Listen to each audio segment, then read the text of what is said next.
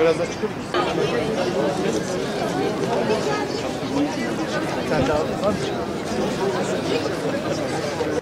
Türk Tabipleri Birliği bu topraklarda 71 yıldır hekimlerin örgütlü sesidir. Kolektif iradeyle sağlık alanında mücadele yürüten, anayasal korunma altında kamu kurumu niteliğinde bir örgüttür. Türk Tabipleri Birliği bir meslek örgütü olarak üye olsun veya olmasın ülkemizdeki tüm hekimlerin başta ekonomik ve özlük olmak üzere tüm haklarını korumak için yıllardır mücadele etmektedir.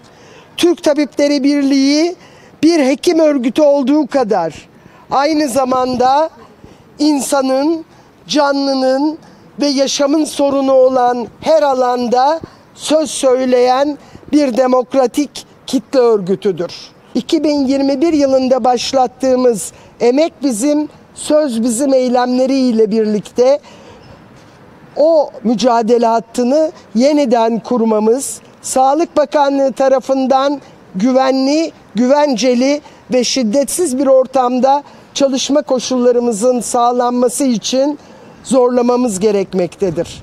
İktidar yukarıda bahsettiğimiz tabloyu her dönemde olduğu gibi bu dönemde de gerçekleri ifade eden TTB'ye saldırmayı, onu tehdit etmeyi ve kapatmayı, görevden alma ve kayyım atamalarını başaramamıştır.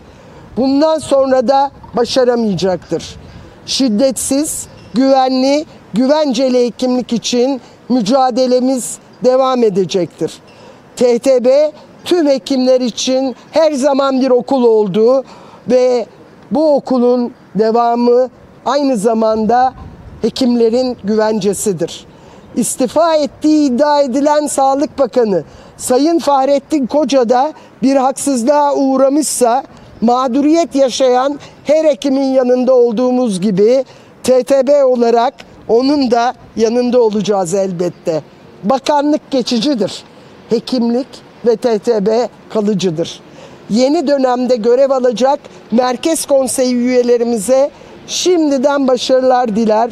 Her zaman olduğu gibi de yine onların yanında onlarla birlikte omuz omuza mücadele edeceğimizi bildiririz.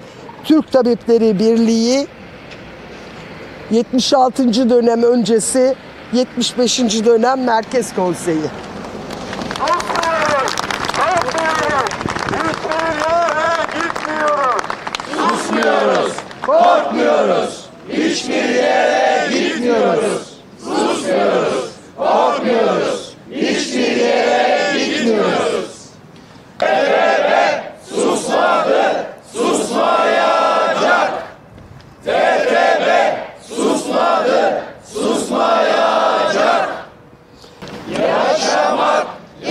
Yaşatmak istiyoruz.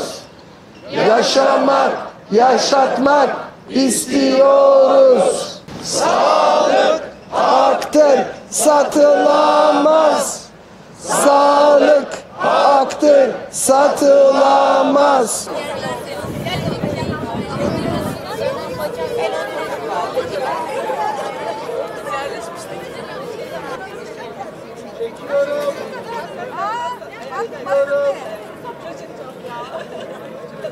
Devam ediyorum çekmeye. Siz Türkiye'de kadar çek. Buradan videoya.